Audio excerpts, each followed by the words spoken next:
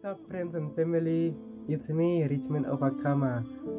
Welcome to my channel and stay tuned up to the end of the video if you don't want to miss out the angels and how they look like. So stay tuned. Today we are going to talk about the angels and what they are doing, where they are dwelling.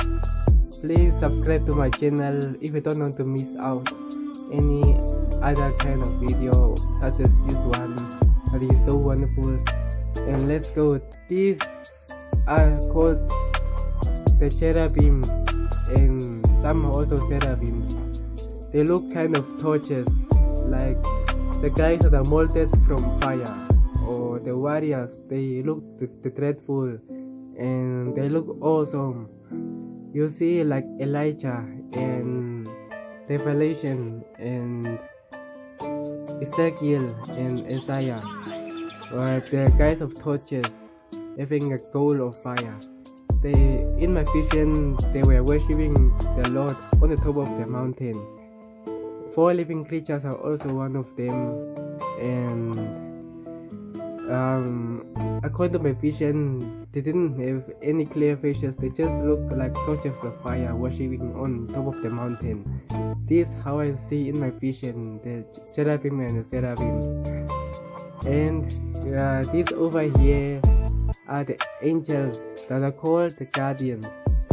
Angels or any kind of angel according to their work they humble themselves because they don't like to show their wings uh, so people can worship so people cannot worship them. People can worship the lord because they are also the servants of the lord and the messengers according to the john revelation there's an angel that say that see that you do not worship me because i am your fellow servant and a, a, a worship their Lord. So uh, angels, they are our co-workers and they are our uh, uh, brothers too, our brethren too. That's why they don't show wings to any man. And the third group of angels, uh, they are called the worshippers. Just like these ones, they are they are the guardians to help men from any harm throughout the day and night. And the third group is called the, the angels of healing and worship.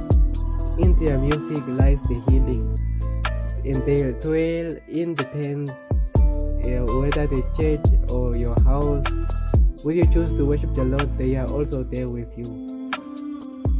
When you worship the Lord or when you have a bad day, you can hear they are singing out of the air. That small voice or that wonderful voice, voices of hosts singing and restoring your energy, restoring your health, and you feel like you're brand new.